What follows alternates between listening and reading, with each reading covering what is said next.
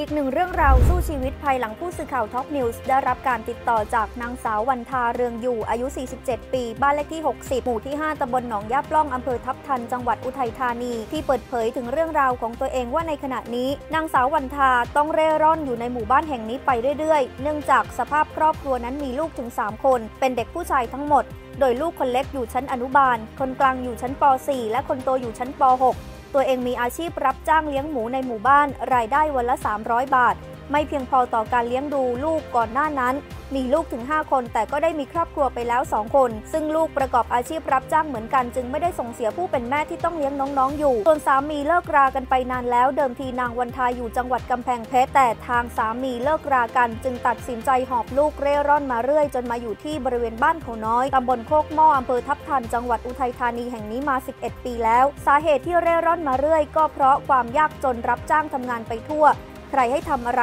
ทำหมด โดยไม่เกี่ยงงานและทุกวันนี้ รับจ้างเลี้ยงหมูอยู่ในหมู่บ้าน ได้ค่าแรงวันละ 300 บาทต่อวัน ซึ่งไม่มีทางเพียงพอต่อการเลี้ยงดูลูกๆ 3 คนด้วยซ้ำไป แยกกับแฟนก็แยกมาอยู่ค่ะมาหากินแบบเนี้ยเหรอฮะ แล้วก็ออบลูกมาอย่างเงี้ยค่ะ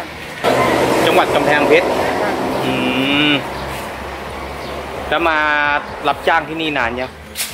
สิบกว่าปีแล้วจ้ะสิบกว่าปีแล้วห อบลูกมาอย่างเงี้ยแล้วก่อนหน้านั้นพี่ไปอยู่ไหนมาก่อนหน้าอยู่กำแพงอะจ้ะไม่ไม่อ่าเนี่ยที่ที่ที่มาอยู่อุทัยเนี่ยที่มาอยู่อุทัยเนี่ยพี่ไปอาศัยอยู่แถวไหน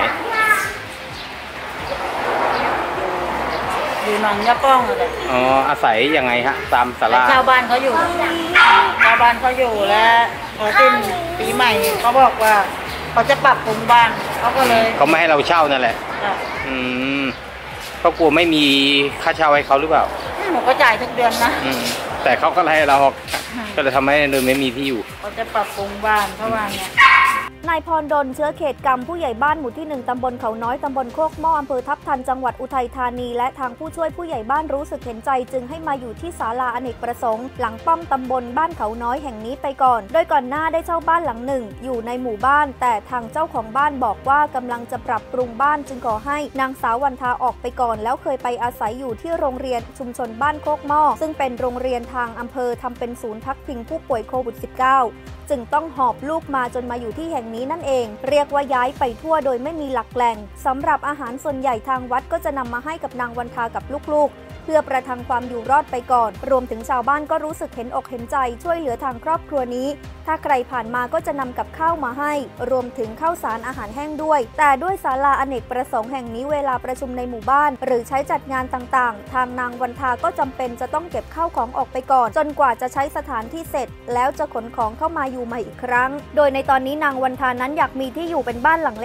ล็ก ๆ เพียงพอให้ลูกชายทั้ง 3 คนได้นอนหลบแดดหลบฝนได้ จึงวอนขอหน่วยงานต่างๆ ที่มีความความเกี่ยวข้องอยากให้มีที่ดินแปลงเล็ก ๆ ไว้สำหรับปลูกบ้าน เพื่ออาศัยอยู่กับลูกๆก็ให้มาอยู่อาศัยที่โรงเรียนเป็นโรงเรียนล้างที่ตอนแรกทำเป็นศูนย์อ่าพักพิงโควิดครับ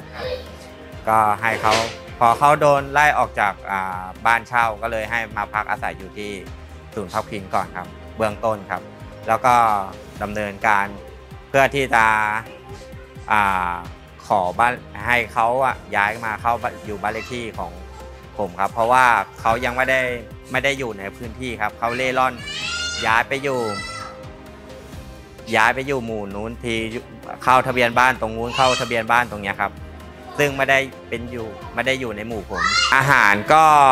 ก็จะมีพวกผู้ช่วยผู้ใหญ่บ้านนะครับว่างถ้าเกิดว่าขาดเหลือ ก็มีทางวัดครับ ส่วนมากก็จะเป็นหลักเลยก็ทางวัด ใช่ครับ วัดช่วย